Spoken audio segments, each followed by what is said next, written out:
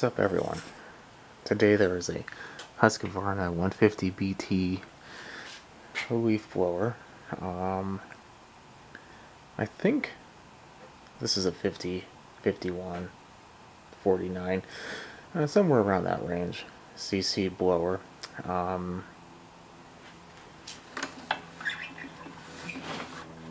while there is compression, it's not the greatest. So that's not good. But um, apparently it doesn't run. The cover is right there. When I got it, didn't have any screws. So I'm assuming the person tried to do some work on it. So I think what we're going to do first is I'm going to put you in a stand and take out this plug, put a little fuel down it, and see if it starts. And if it does, then we know we have a problem in the carb. If it does not, then we might have unfortunate other problems. But let's not go down that road unless we have to. So to go ahead and get this started. Now, I put some two cycle fuel down the plug hole, put the plug on. I took the um, plug out, it was brand new, so I think someone's been in here before. Obviously, the cover was off, but uh, who knows what else they've done. I like to kind of pull up on the cylinder just to make sure they didn't try to take it off and look at it. The exhaust, all that seems secure, so I don't think we have a problem there. The carb does have a lot of corrosion on it though. No choke.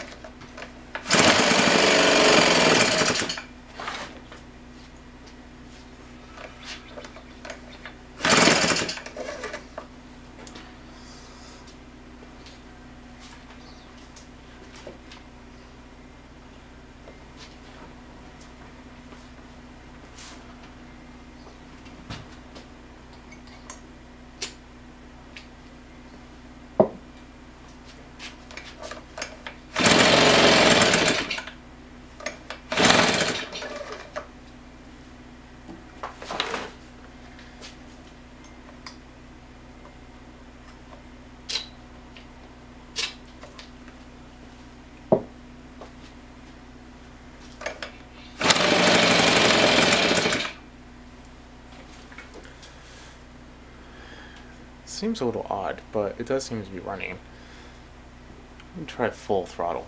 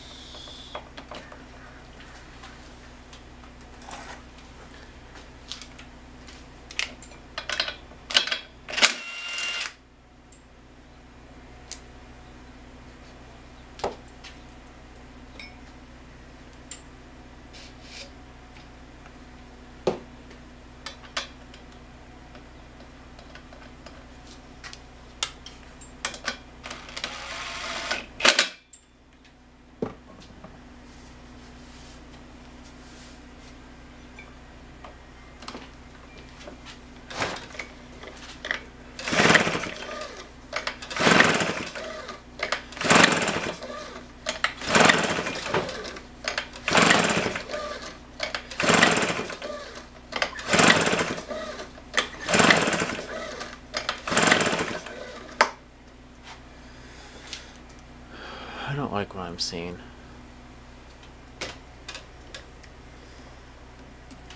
take off this muffler. You ever just have one of those really long days at work? Then you come in your garage to kind of unwind, and you realize your day of work kind of stuck with you. I thought I turned off the choke. I did not. Let's try it with no choke.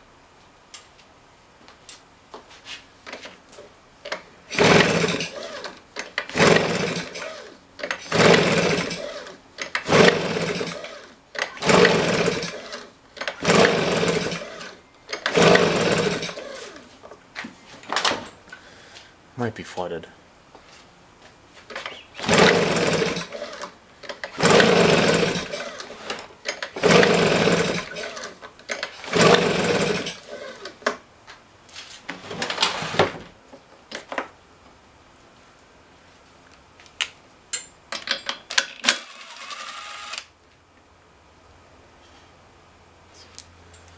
Definitely wet.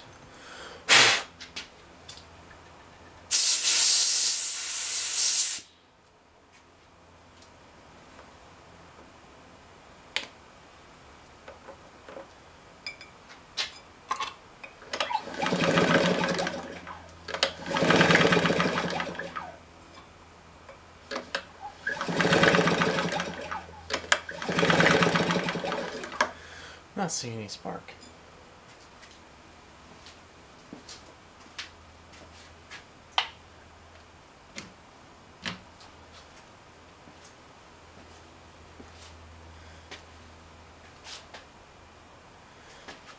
Hmm, let's have you look at it too.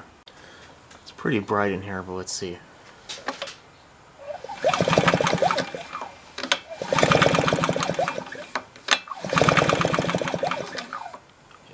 I spark. Let me get a different plug. And to make sure I wasn't just missing something, I um, made sure the switch was off, or on, but not on off. It's fine.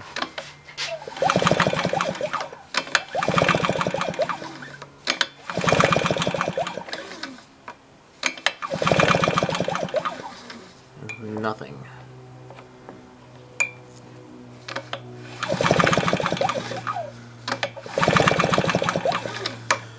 Don't see a single thing. Um,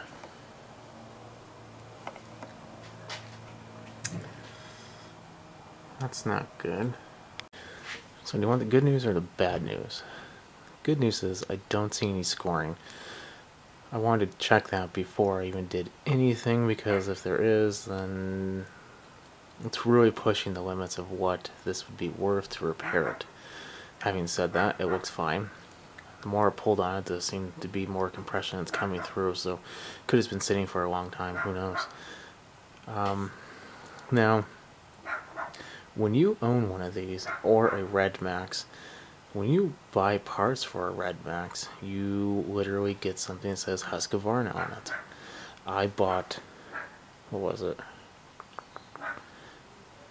This half of the case, I think. Um, and it had a Husqvarna logo on it, and it came with the Red Max packaging, everything. So they're the same parts.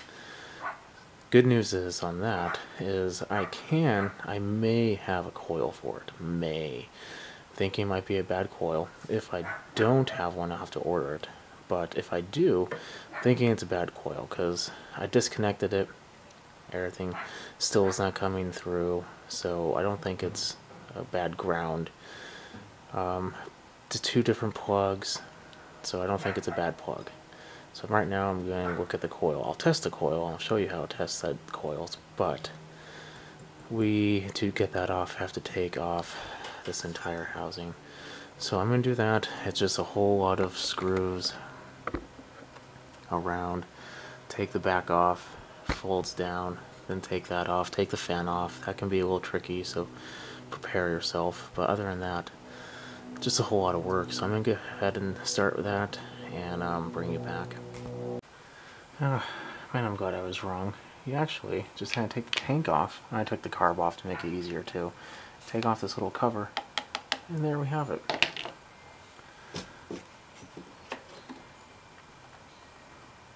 I was remembering my Red Max song. You know what? I just don't feel like that is right.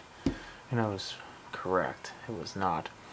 So what I'm going to do is I'm actually going to disconnect this ground and I'm going to try it one more time just to verify it's not the ground. Maybe there's a problem somewhere else. And then if it isn't, then we know we have a bad coil. So I'm going to go ahead and do that off camera and if it is the ground I'll bring it back. If not then I'll look for a new coil. Here's the coil. See this giant crusty layer of crap? I'm about 95% sure that's not going to be the cause of it, but just to avoid having to buy one and have to wait, you know, three, four days, but then not be able to work on it because it'll probably show up on Monday. Today's Wednesday. Probably show up like on, I don't know, Sunday night or Monday morning. Then not being able to work on it again until the next week. I'm just going to clean this up. I'm going to go on the uh, flywheel side, clean up the magnets, you also need to check the magnets to make sure they're okay. I checked them. They are dirty, but the magnets themselves are still magnetic. Give it a try. Regap it where it should be. We'll test for spark one last time. If that's not the case, then it's just a bad coil. So, I pulled this from the tank. That to me at the very least does not look like very well mixed fuel. It's probably a good 70, 80 to 1. So we might have more problems, but I put the plug in. I was able to detect spark, so I put everything back on. I, we may still have a problem with the carburetor, I don't know, or even the motor, who knows. But at least let's give it a pull, and if we need to, we could take the plug out and um, put some fuel down the plug hole.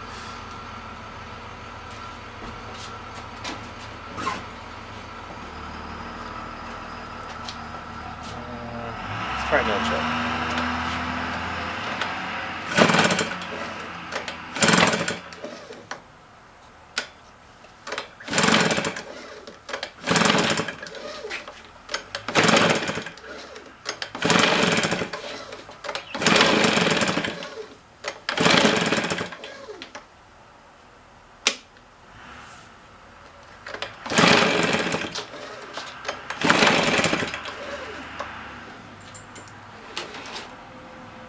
full throttle.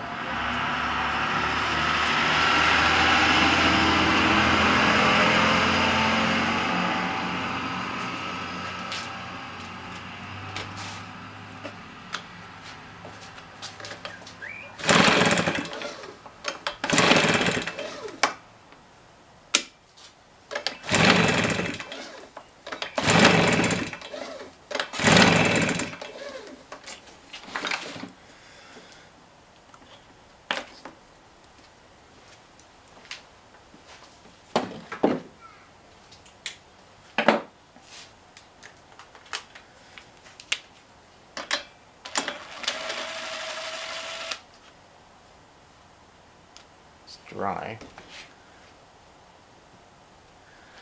This is still just two cycle fuel.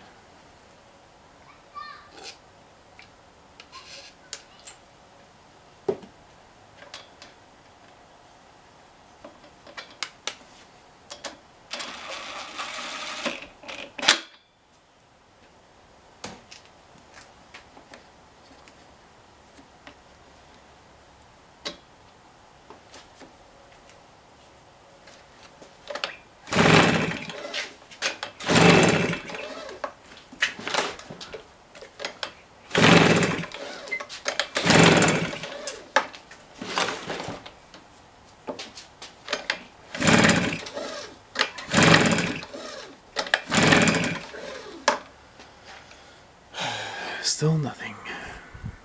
Definitely getting spark. Just check that. Just try this again.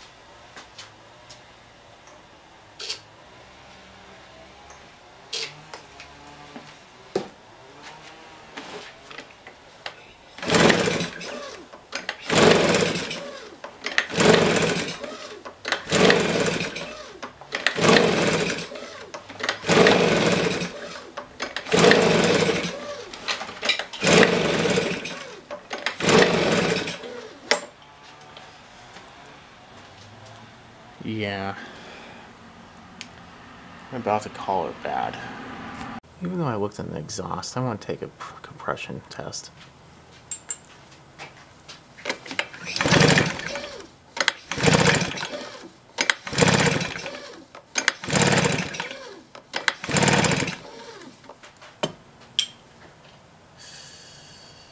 Yeah, it's not good.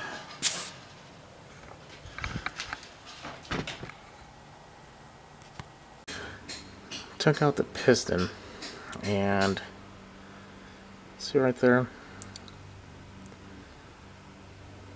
I believe the ring broke got crammed in there and then just went in a demolishing ring um, I mean, everything else seems fine.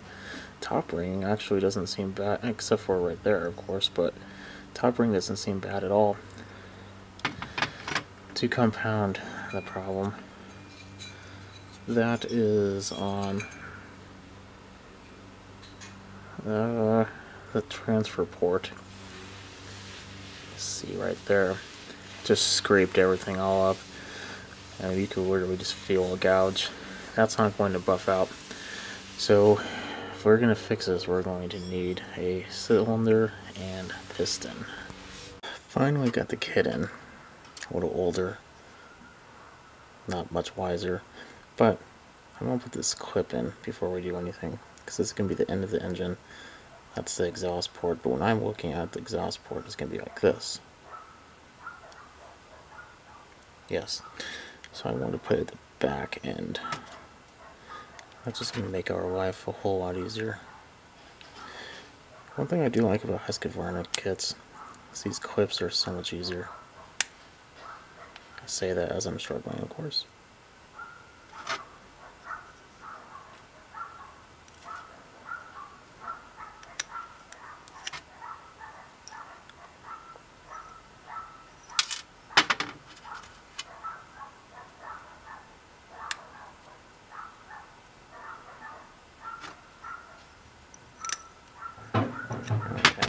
Let's struggle more.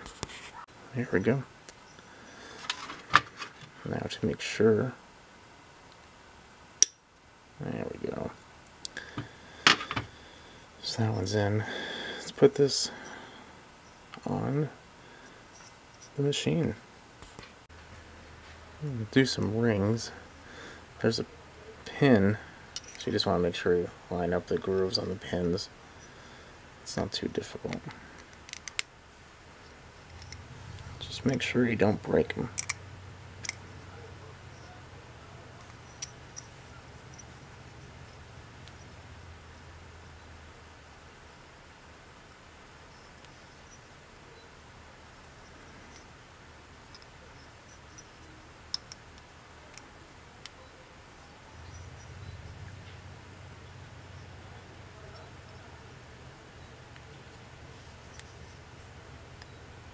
There we go. Takes a little finesse.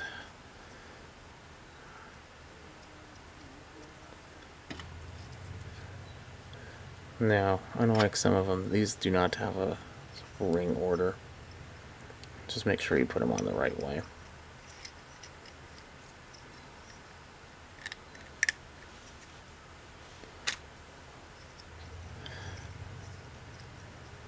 when you buy this kit, don't get the cheap one.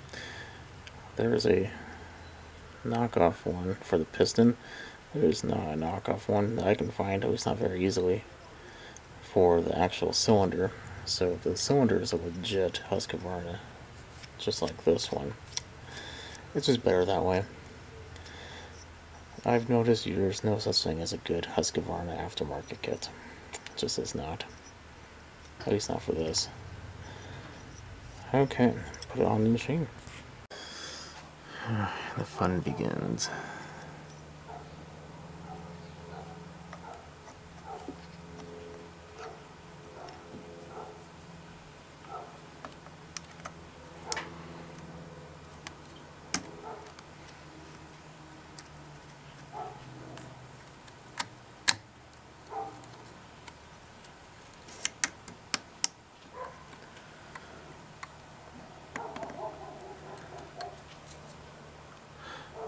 Oil the inside of the piston, not the rod, but the inside.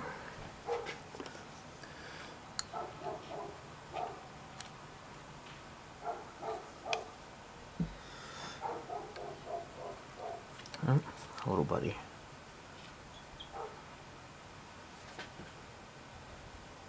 Let's just get rid of this little guy here.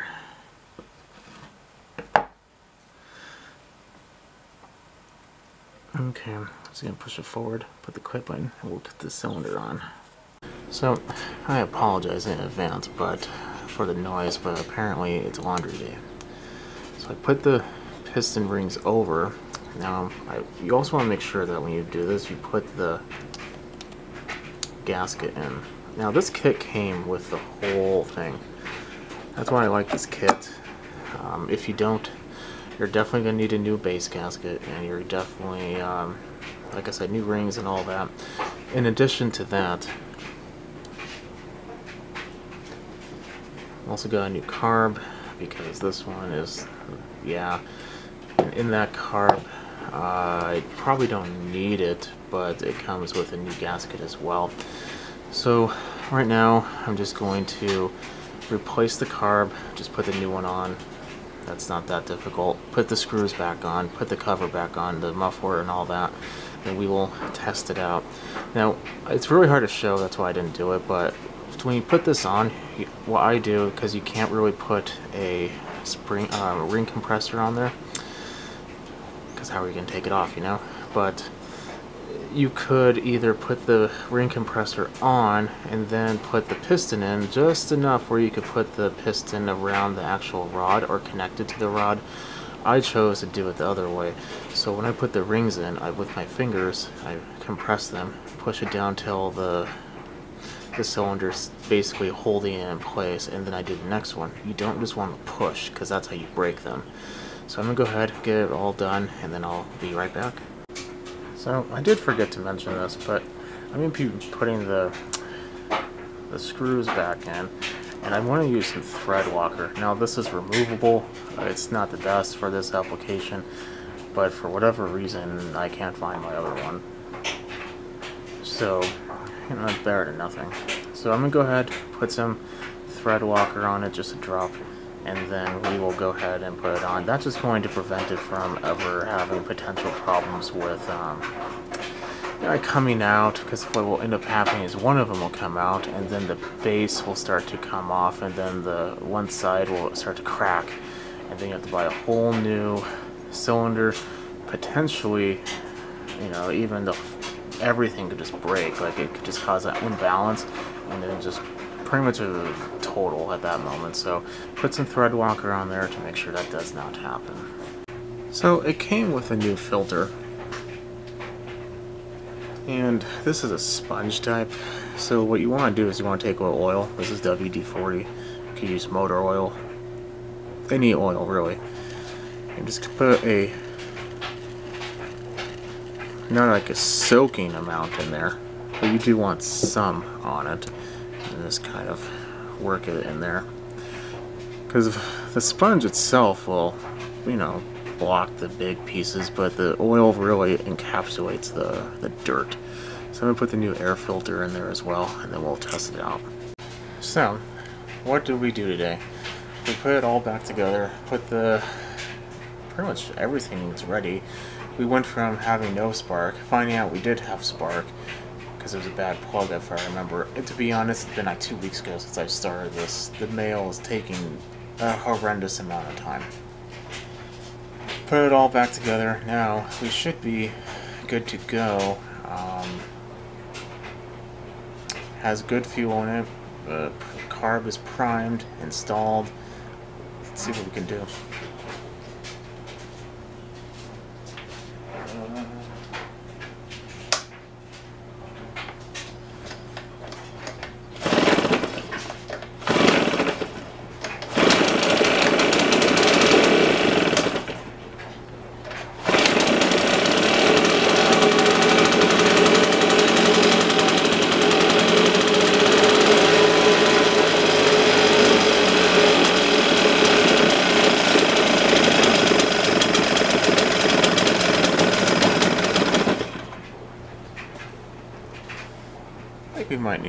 Adjust that idle a little bit. Or it helps if you see a little bit more, huh? Just a Phillips head. Now, I'm not gonna lie, this carb is a generic one, so the jetting might be off. I might have to fix that.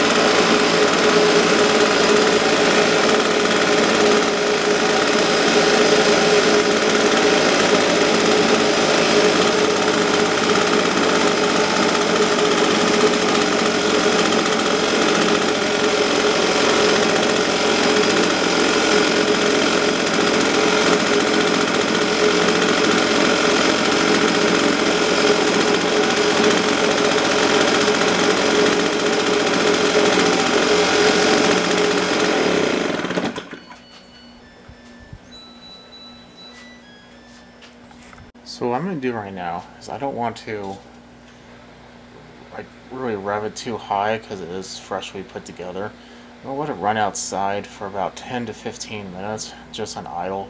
Just kind of let everything wear in together, kind of just figure out where it needs to go and just kind of break it in. That's basically what I'll be doing. And then once it's fully warmed up, the assembly oil or aka Marvel, is actually burned off and ready, then I'll rev it up, I'll bring it back, and I'll, we'll see what you can do.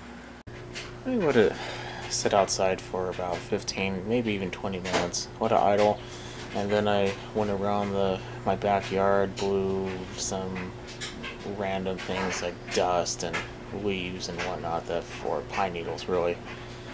And it's adequately warmed up. Let's see what we can have.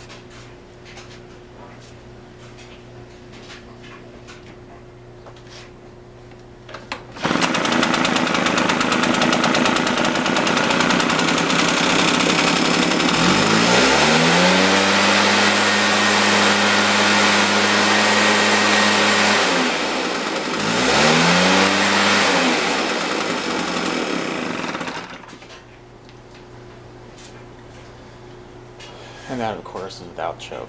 I'm actually really surprised that that jetting in the carb was right. That usually doesn't happen with these types of carbs, but um, apparently I got lucky. I'm going to keep that one in mind for the next time. Something that I like to do if you find like a good aftermarket one, because they're not, their quality is pretty far apart from each other. Some are really nice, some are really garbage. But that's a risk you take. It's like a lottery ticket, except usually, just like the lottery, you probably won't win. But in this case, I did, so I'm happy. Okay, well, if you like what you see, keep watching. Definitely put a thumbs up and subscribe. I'll catch you on the next one. Have a good night.